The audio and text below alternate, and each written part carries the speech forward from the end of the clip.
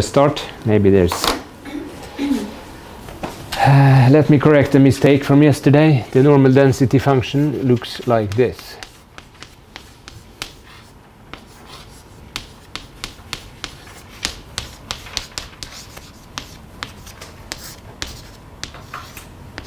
I missed the 2 and the sigma here yesterday, just to inform you. Okay, I forgot what it looked like. So, so we, we need to to let right be right and wrong be wrong, I think.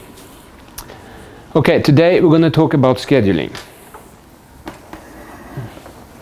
Scheduling is basically about sorting stuff, finding sequences, and potentially this is an important field in event management or event logistics, if you like, because in many situations, uh, sequencing or sorting actions or people or both is important. You can think about a football league where you obviously have to sort the matches in one way or the other. Typically you do this statically as we say that you do it without changing it so you kind of define the whole season from day one. Of course you can do this dynamically, kind of observe what's happening and then reschedule and uh, if you follow Norwegian football on TV, you probably observe that there is a certain element of rescheduling. You kind of change dates, certain teams move from playing on a Friday into a Sunday and that kind of stuff to kind of fit with the TV schedule. So there are kind of uh, at least two different scheduling problems here. The, the one is uh, is kind of given that you know which teams are playing each other on a certain weekend, how to schedule that on various days typically to maximize TV viewers uh, on, on the TV stations. And these other problems which is kind of related to which teams should play the other teams at each round. And of course you, you would kind of try to do this perhaps in a way where you, you take uh, certain constraints into consideration. For instance, in Norway we, we tend to have uh, certain rules stating that uh, the biggest and best teams normally get a home mat match on the 16th of May to kind of maximize the number of audience. Uh, and, and this is not an obvious problem how to solve basically. Uh, and it could be different objectives. It could be related to doing things efficiently uh, at low cost or high income profit wise or it could be trying to influence the number of spectators uh, typically through a, a whole season uh, and uh, th there is a lot of uh, constraints you have to take into consideration. It kind of resembles the problem you have at a university or a college when you have a time schedule of various topics and you need to find which topics should be taught at each day and so on. Okay.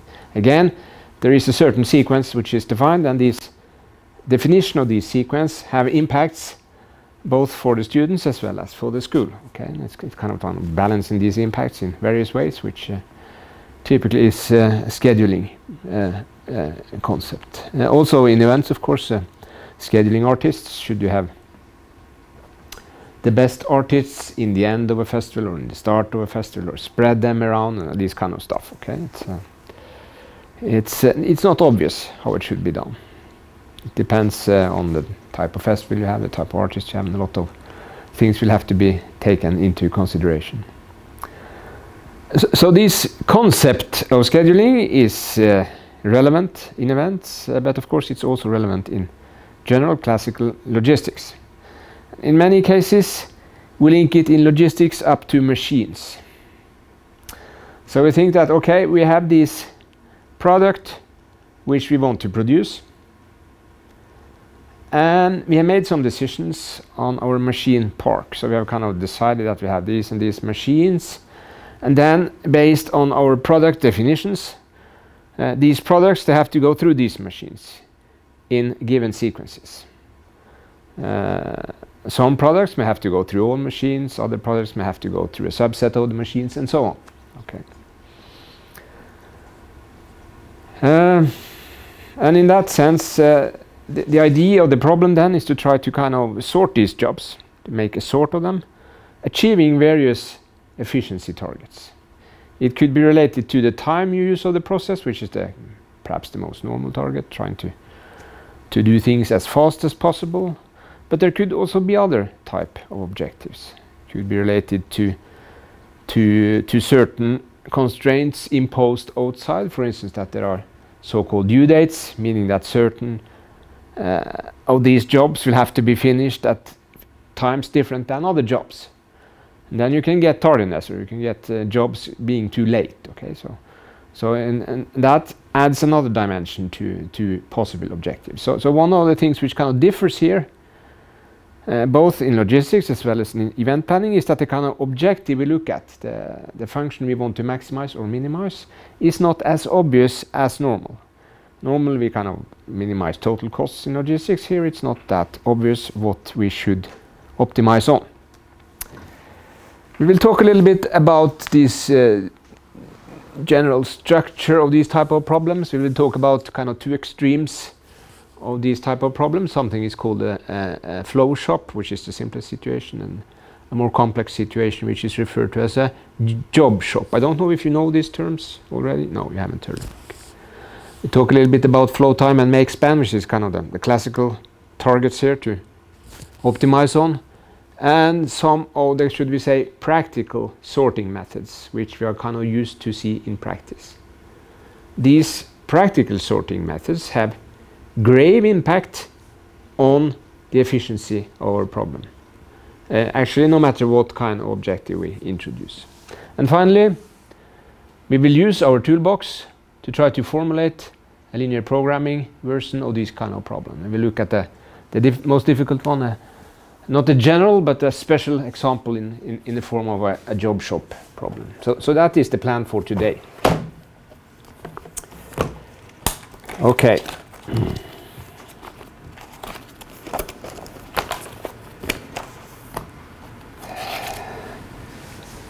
Uh, when we deal with this in logistics, as I said, we kind of describe it through machines. Um, so we have a problem description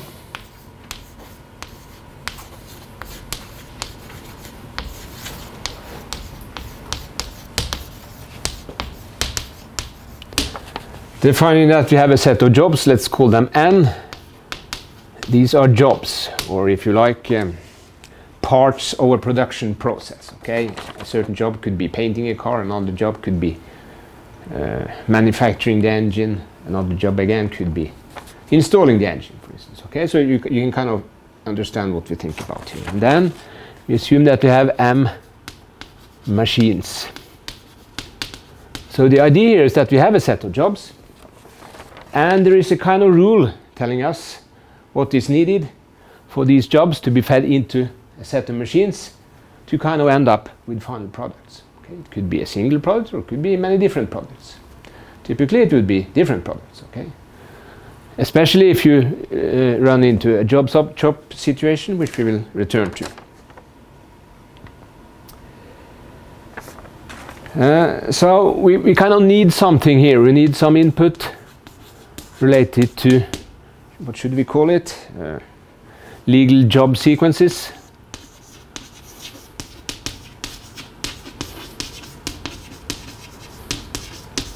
In addition to these data here, there's some data here related to to how many jobs we have, what kind of structure they have, and the same for the machines. And there must be some kind of recipe here, defining which jobs need to be at different machines and what kind of sequence we need to put them in. And we need some optimizing cr criteria.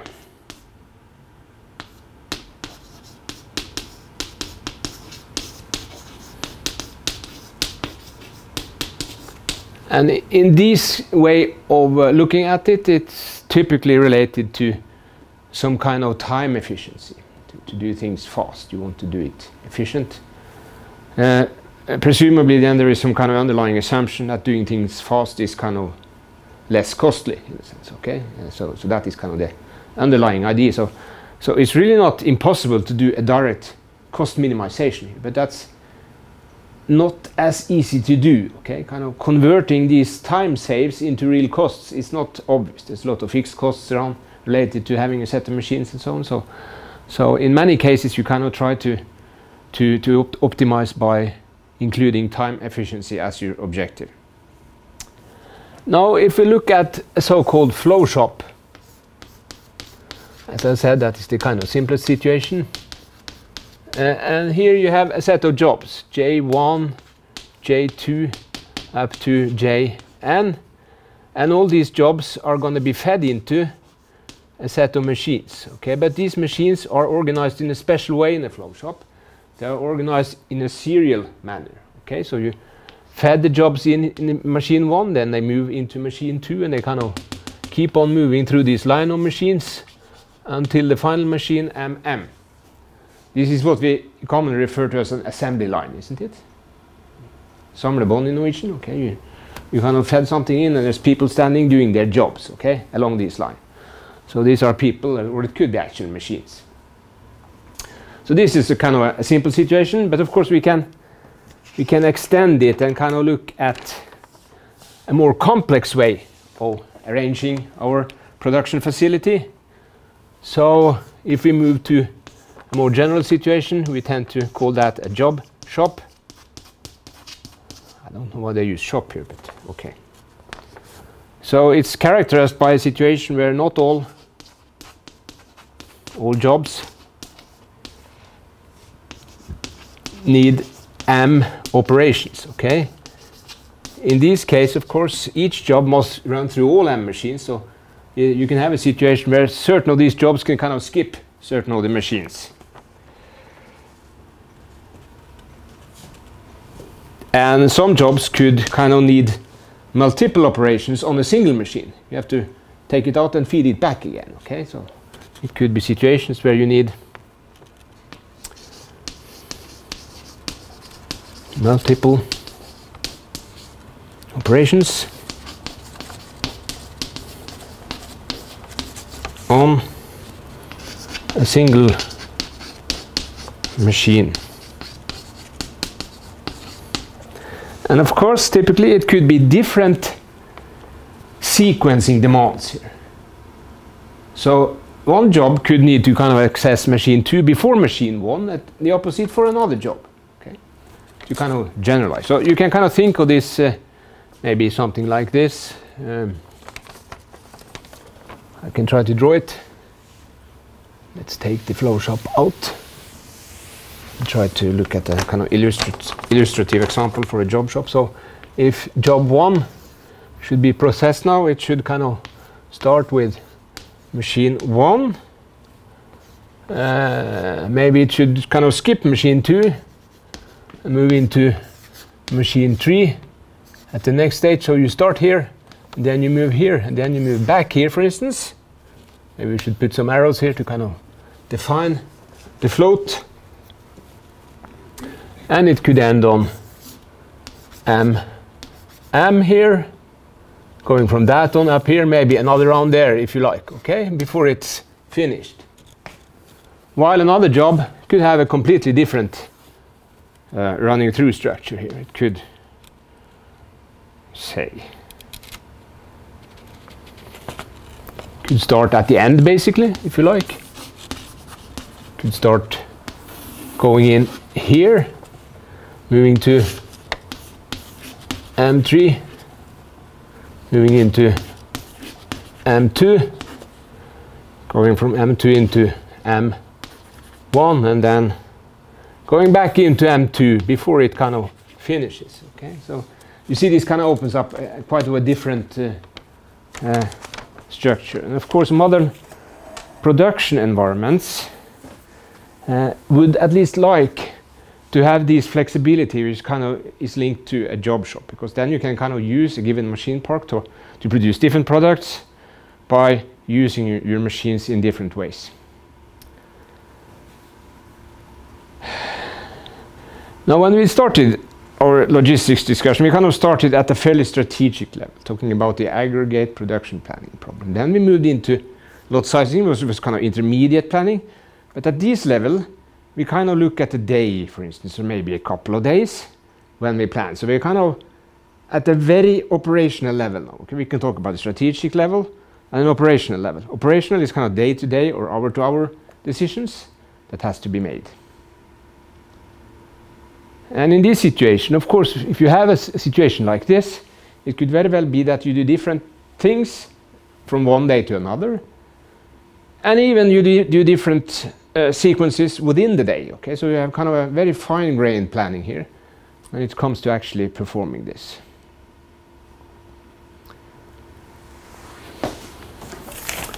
Okay.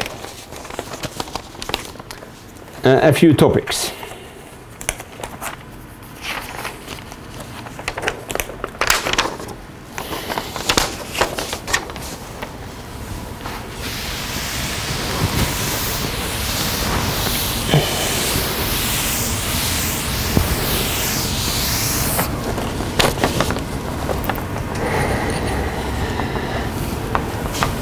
flow time, what is that? A flow time is defined for each of the job. So it has a kind of subscript I, where I is our jobs, if you like. So there is one flow time for each job. It's defined as the time needed from the start of the first job until finishing job I. Okay, so uh, the first job we kind of start first, and then it, it has a certain processing time. Let's refer to it. Perhaps say what that is. Processing time.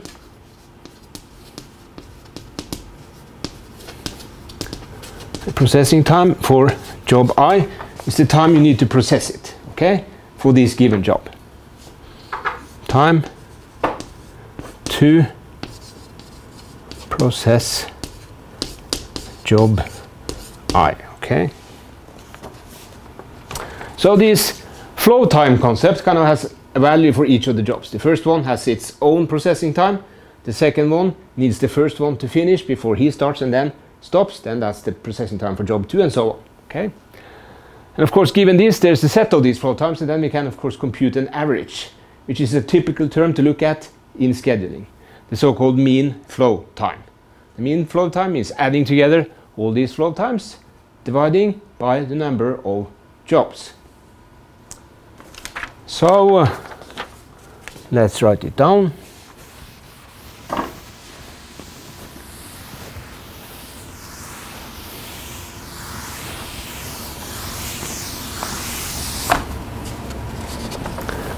The mean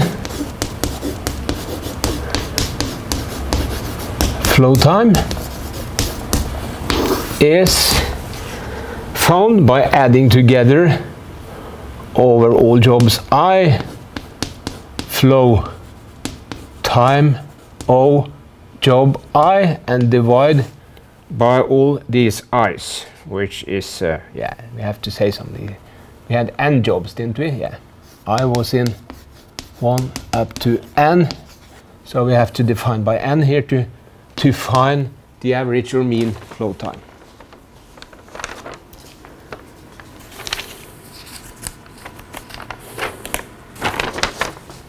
And then we have this other term referred to as make span. A lot of weird words here if you haven't heard them before. Make span is a particular flow time is the flow time of the job finishes last. Okay, It's kind of the flow time for the last job. So the make span hence kind of tells us how much time we totally spend in our operation. Flow time for job ended last all jobs. Okay, so it's kind of the total time spent in our problem. Or if you like, time needed to finish all jobs. Okay. this is a very normal optimization criteria. We want to minimize make span, making kind of executing our jobs as fast as possible.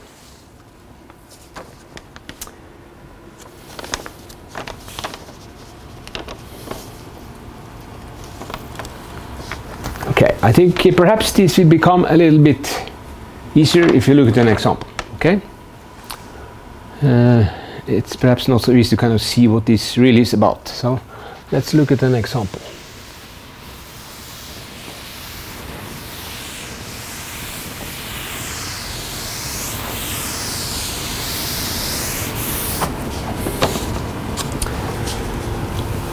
Example comparing. Should we say manual? Scheduling or sequencing rules? We tend to use these words scheduling or sequencing. Uh, with the kind of same meaning here in this this uh, subject here so we look at a very simple situation. We have a single machine, one machine, M, and we have a set of jobs, J1, J2 up to some finish job here. And now we will look at some classical criteria. We have one criteria called FCFS, first come, first serve, which is the kind of fair principle in some ways. And we will look at something referred to as SPT or shortest processing time.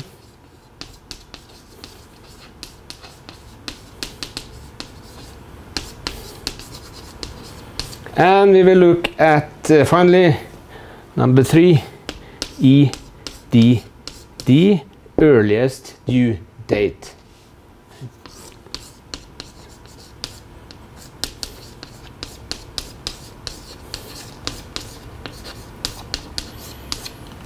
Okay. And what I want to demonstrate now is of course that by sorting these jobs differently, then these kind of uh, measures we, we, we should introduce, for instance, make span and flow time and that kind of stuff kind of changes. That is the idea. So you can kind of see how it runs. Uh, it turns out that this fairness principle of first come, first serve is not a very good scheduling or sequencing principle. It kind of does not produce a very efficient solution. So if you think about patients in a hospital, you very often tend to use this criteria, don't you? When you put them in a queue, they kind of keep this queue place and they move forward as the queue shortens. Uh, using the shortest processing time, basically in that sense, would mean that you should treat patients with the easiest disease first. Uh, this is not a common criteria in the health service, is it? And there is a good reason for that. What kind of reason is that? Death. Yeah, if you have, if you have very if you have very severe disease, of course, you should be treated early in, in, in case you could die. Okay, so from a queuing point of view, of course, it's it's not so bad that people die, if you like. Okay, it's uh, it kind of runs fairly efficient. But it could have some interesting effects if you kind of look at health service in this way of thinking, and it has, to some extent, been discussed when it comes to how to organize health services in general, and especially maybe at operational theaters where where there is a lot of options on how to kind of sort patients which patients patients to start with in the morning, which patients to end with in the afternoon. So maybe you should you should in in this sense it could perhaps be a good idea to kind of put the open surgery operations late and kind of start with simple stuff like appendices or whatever. Okay. So, so there is some learning here, but uh, let's just look at the example to, to get a feeling for what this is about. Okay. Now in order to, to look at this example, we have to have some more information. If we're interested in due dates, there must be some due dates for the jobs. And of course, if we're interested in shorter processing time, there must be some processing times for all the jobs. So we need one stream of, of numbers which are due dates, which are the dates we really would like the jobs to finish. And while the processing times is the times needed to perform the job. So um, this example is, we are by the way in chapter 8 in the textbook now. So we have the jobs here and we have job 1, 2, 3, 4, 5 and then we have some processing times here.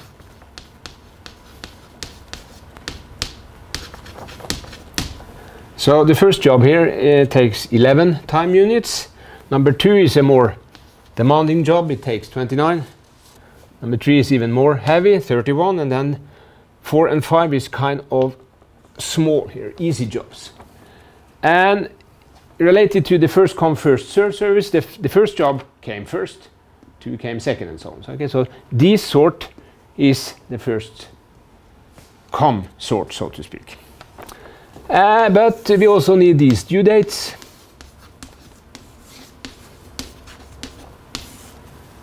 And uh, the first job should ideally at least stop, be finished before time point 61. So we kind of think that we have a time scale here that starts at zero and then runs. So this first job should be finished before time period 61. The second one could should finish earlier by 45, the third one by 31, and then there's 33 and 32. So you see these three final jobs should be ideally be finished early. Okay, now we can construct a table where we look at some measures, for instance, flow time and possible tardiness. Tardiness means to late jobs. Okay, jobs you cannot end after these pres prescribed due dates, and see the consequence of applying different of these criteria. So let's do that.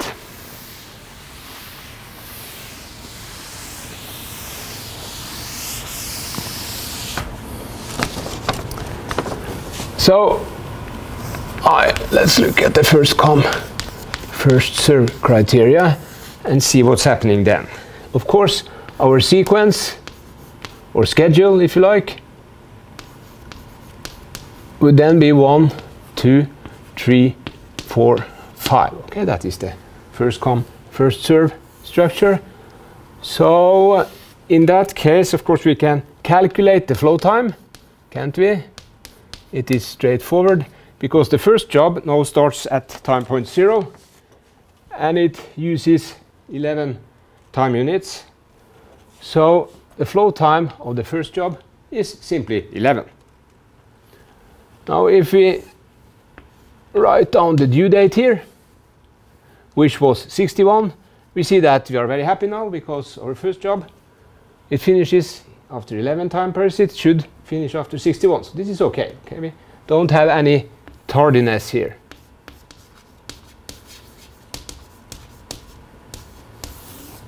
The tardiness is zero here.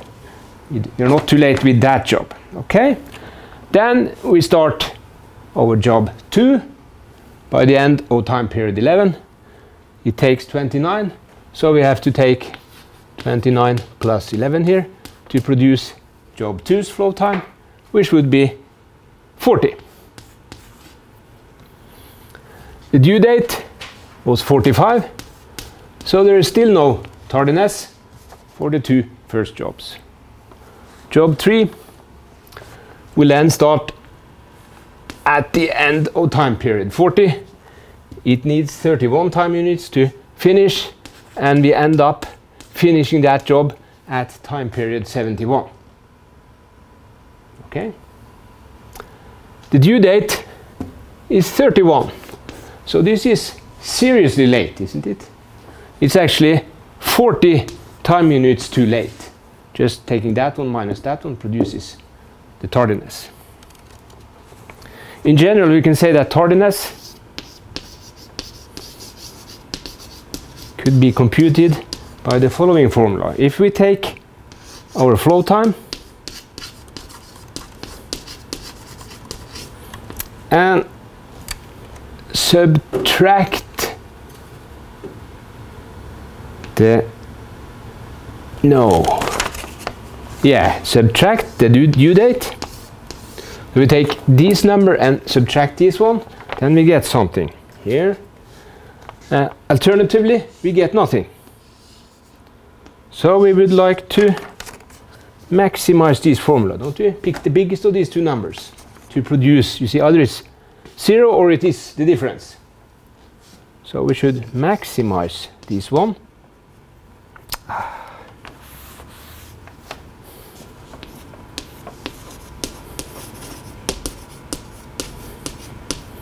the maximum of this one and zero. If we're interested in minimizing tardiness or some kind of average tardiness, we may run into problems. The reason for that is that this maximum function is not linear. It's a nonlinear function. We cannot base all our thinking here of using linear functions. It doesn't mean that we cannot handle nonlinear, nonlinearity, but we need to apply some tricks. So the best or easiest way is to kind of keep linear. But you see already here, we introduce something which is nonlinear. A nonlinear function is a kind of function which kind of goes like this or have some kind of peaks. Okay, if you think about maximizing x and y, if this is x and this is y, of course maximizing here means picking this part, which is the biggest one here, and that part, which is the biggest one here.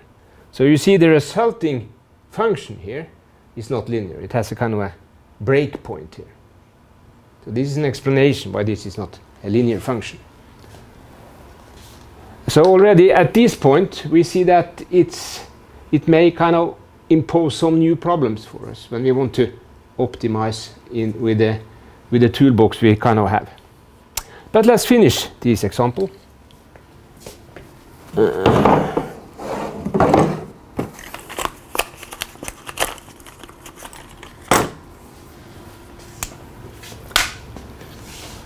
Job 4 now starts at 71 and takes one time unit. That produces a finishing point at 72 uh, the due date was 33 so again we get uh, uh, a bad uh, uh, tardiness here of 39 don't we? 72 minus 30 33 is 39 the fun job then starts at 72 it takes two time units finishes at 74 should have been finished at 32 which produces a tardiness of 42 Of course, now we can compute the total tardiness if we like by just adding together. You can find the total lateness of all jobs.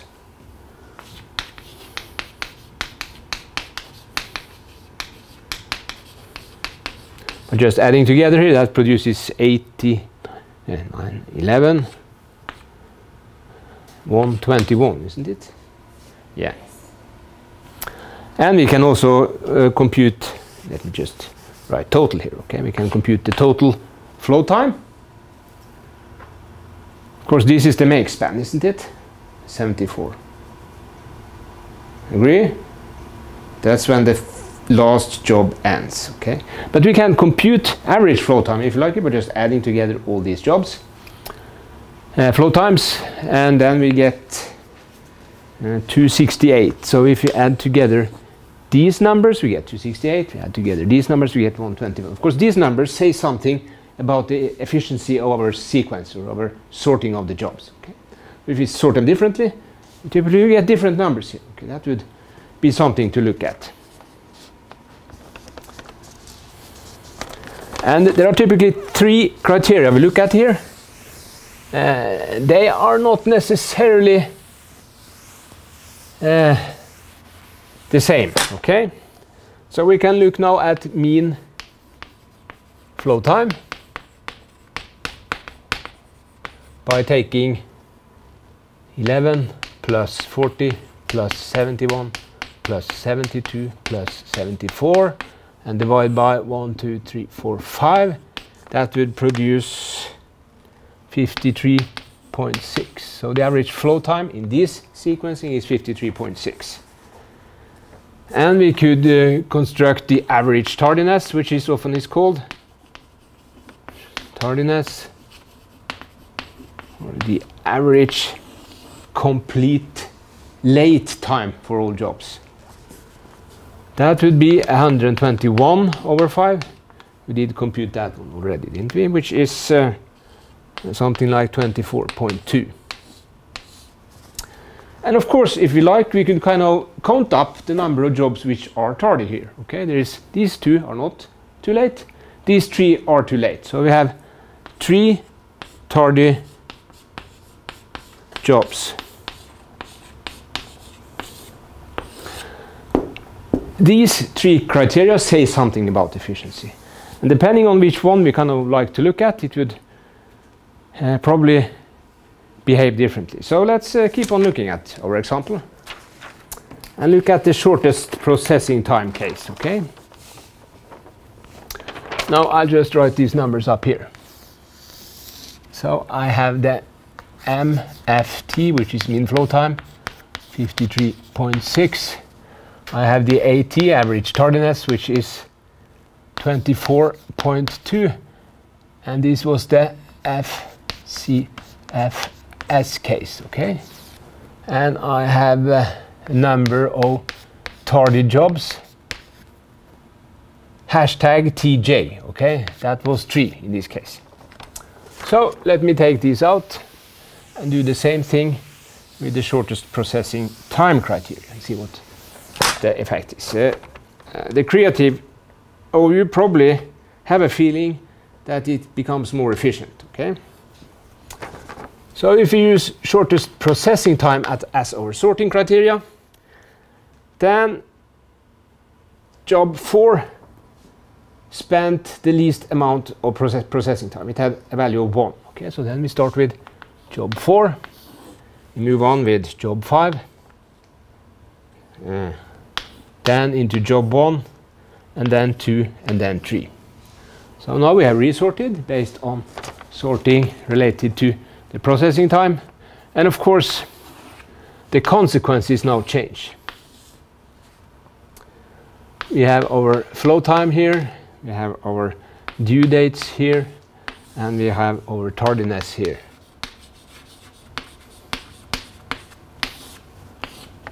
Okay, job 4 had a flow time of 1, okay?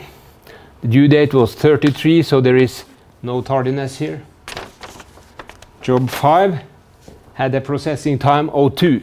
1 plus 2 equals 3.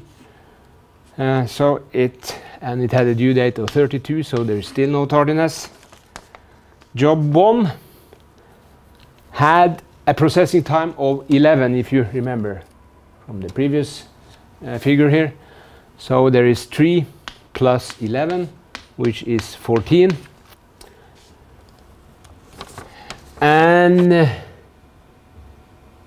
the tardiness demand was 61 so still no tardiness now we already see that we have improved, haven't we? Because the, the three first jobs are not tardy at all, but uh, number three at this case kind of came late.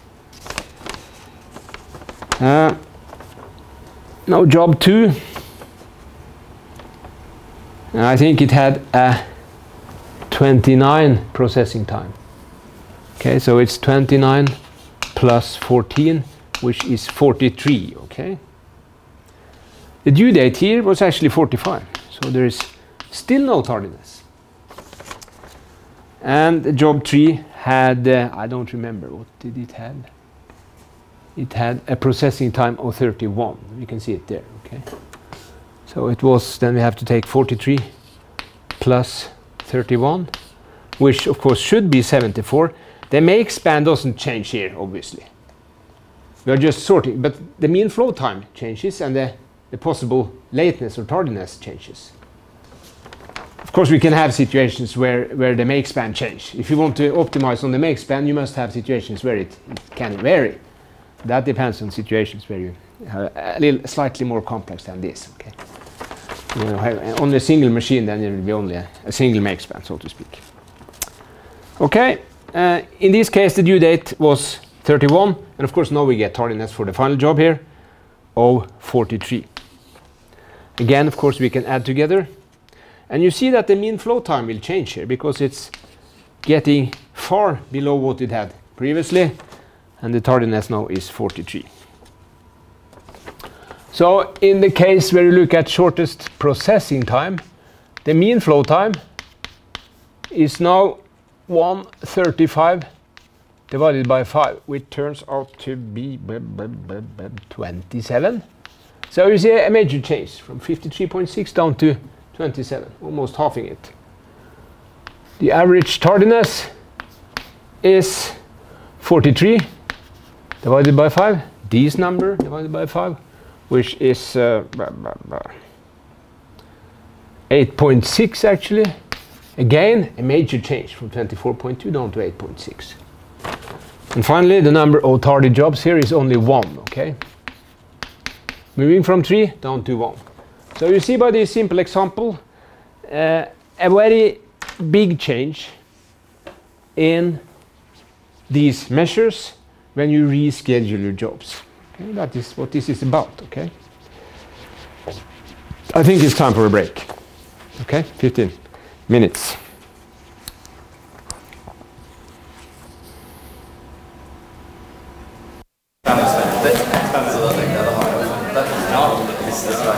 Maria.